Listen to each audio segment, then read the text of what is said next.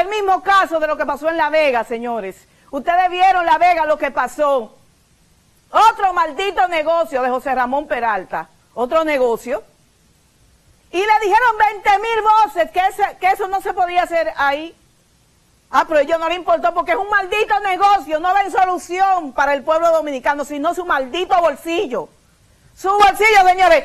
Fue increíble, increíble cómo la gente, oye, señores, la vega se estaba ahogando y uno aquí no se daba cuenta de lo que estaba pasando. Es maestro, como que era aislado totalmente. ¿Eh?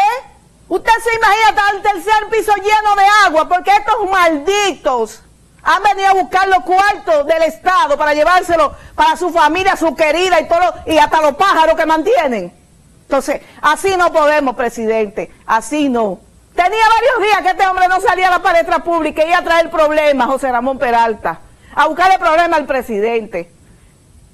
Por favor, José Ramón Peralta, usted como quiera decir al presidente que lo quiere, haga como, como pelo fino que no aparece. Usted ve a Montalvo azarando la vida a nadie. Montalvo calladito, haciendo y deshaciendo por atrás, pero usted nunca lo ve dando la cara.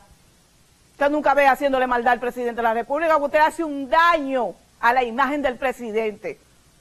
Tenía varios días que no se mencionaba y apareció por este maldito problema. Sigue escondido.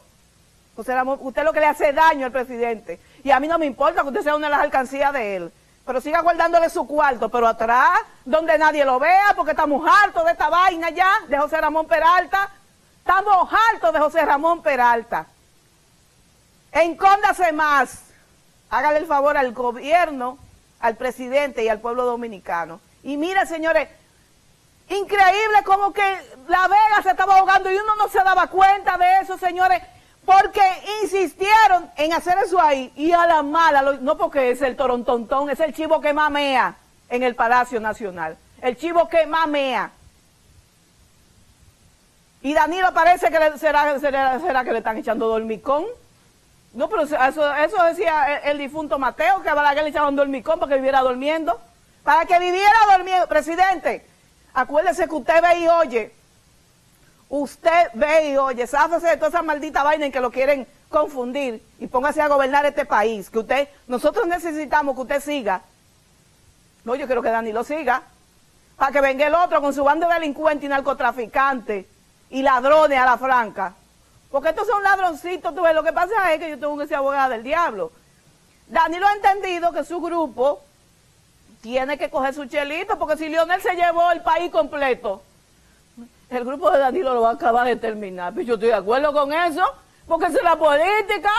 Para poder enfrentar ese grupo económico que tiene Lionel, que tiene a Félix con uno, embuchado con unos cuartos, a Víctor Díaz Rúa con otro cuarto tiene que blindarse Danilo, porque Lionel dijo que estaba blindado. Hasta el 2044 estaba Lionel blindado de cuarto. Que ahí anda, señores, con, que salió por ahí, que ya tiene que 700 mil votos. Y que gente de firma, y que para que él vuelva el gobierno. Pero usted mismo sabe que no se lo cree, que usted vive amargado porque usted no pasa de un 14. Dani, Lionel no pasa de un 14 y lo sabe. Y tiene que inventarse en cuartica. Así que, presidente Danilo, póngase la pila.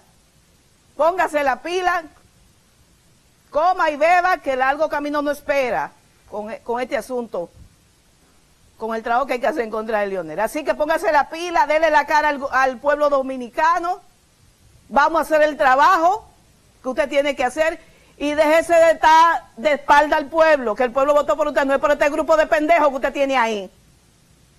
Y este grupo loco que usted tiene ahí. Fue por usted, Danilo, que aquí se votó. Y se va a volver a votar, claro que sí. Porque vamos a hacer primarias abiertas. Claro que eso es lo que le tiene miedo Leonel. Me gustó algo, una frase. Búscame el PLDista, mi amor, eh, Javier. Búscame el PLDista, donde primera vez veo que Temito Montá dice algo que tiene, que tiene, que tiene lógica y juicio. Que habla de lo que, de lo que se quieren reelegir. Hoy no quieren que Danilo se reelija, pero ellos quieren reelegirse 500 veces. Todos se quieren reelegir. Ah, pero Danilo no puede.